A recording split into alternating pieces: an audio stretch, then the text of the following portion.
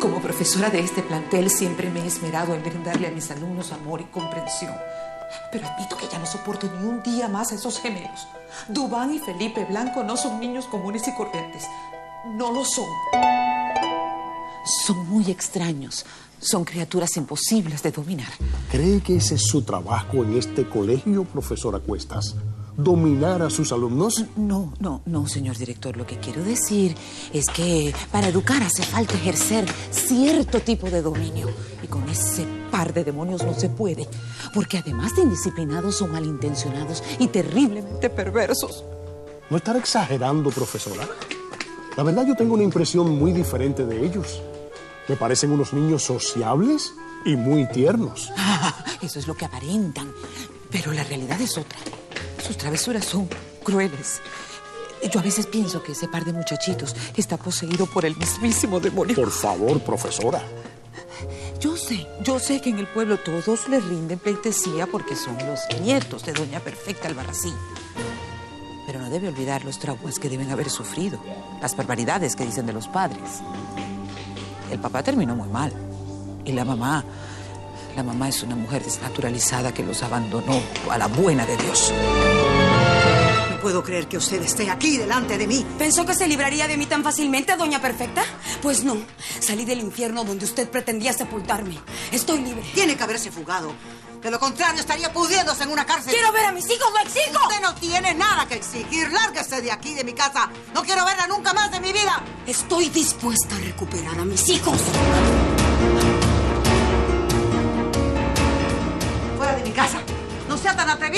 ¿Dónde están Felipe y Dubán? ¡Fuera! Ellos deben saber que su mamá ha regresado. Felipe. Felipe Dubán.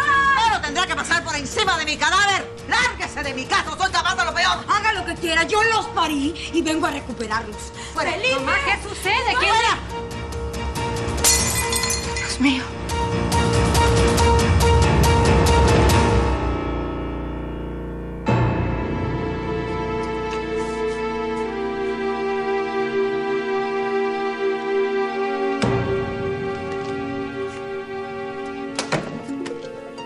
Nada que llega la abuela.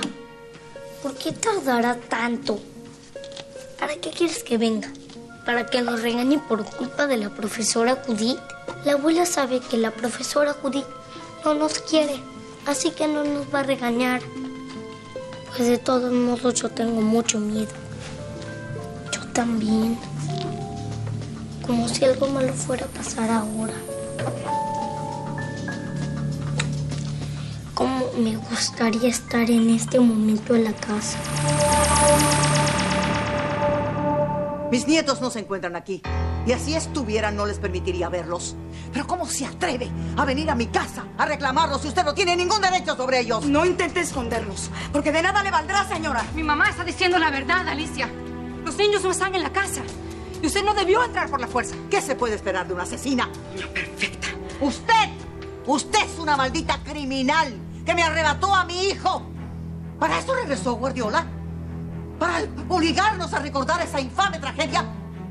Avergonzar a los niños que no tienen la culpa de nada. Regresé para hacerlos entender que no tienen por qué avergonzarse de mí. Porque no soy una asesina. Como seguramente ustedes les han hecho creer. No diga estupideces, Alicia.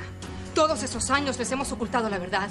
Y no vamos a permitir que usted venga a revelársela. Esto sería injusto. Injusto de negármelos. Después de haber pasado tantos años tras las rejas.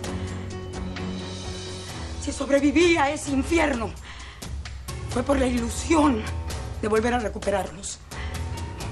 Desde que los apartaron de mi lado, esperado este momento. Pues morirá esperándolo porque jamás podrá reclamarlos.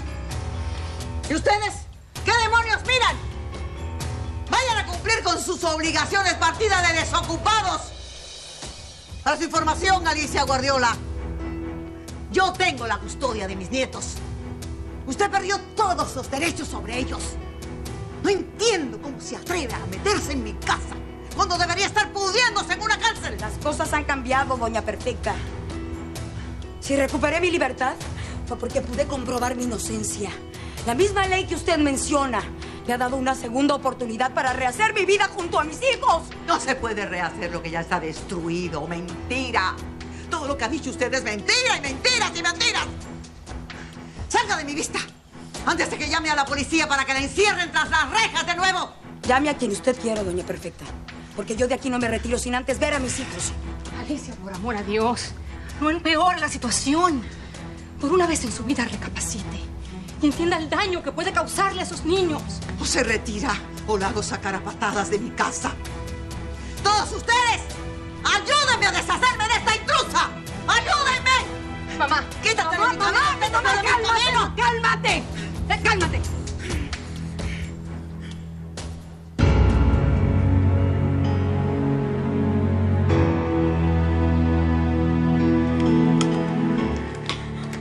Alicia, váyase. Lo que más quiera, por favor, váyase. Se lo suplico.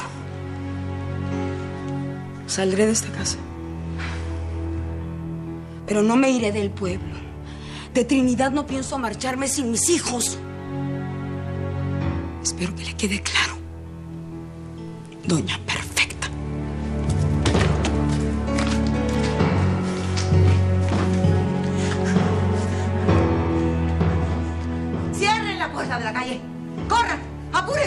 ¡Cierren las ventanas! ¡Todas las ventanas! ¡Ciérrenlas! Y usted, Teresa, corra a la escuela y que no dejen salir a mis nietos. No, esa mujer no puede. Esa mujer no puede quitármelos. Esa mujer no puede quitármelos. No, no, no, no, no. Mamá, mamá, mamá, mamá. puede, Cálmate, puede. cálmate, por Dios. Ya. No puede. No puede quitármelo. No puede. No puede. Tranquila, mamá. A ver, a ver, a ver, a ver, cálmese por favor y explíqueme la clase de denuncia que viene a hacer doña Ofelia. Ay, comandante Ríos, ¿cuántas veces le tengo que repetir que el sinvergüenza de Sebastián Blanco se aprovechó de mi muchachita y abusó de ella? ¿De verdad le pasó eso tan terrible, Clarita? Sebastián Blanco se aprovechó de su inocencia. Ay, deje de estar berreando como una chiva y cuéntele todo al comandante Ríos, mijita. Segurito que cuando aflojó las piernas, ahí sí no estaba yo.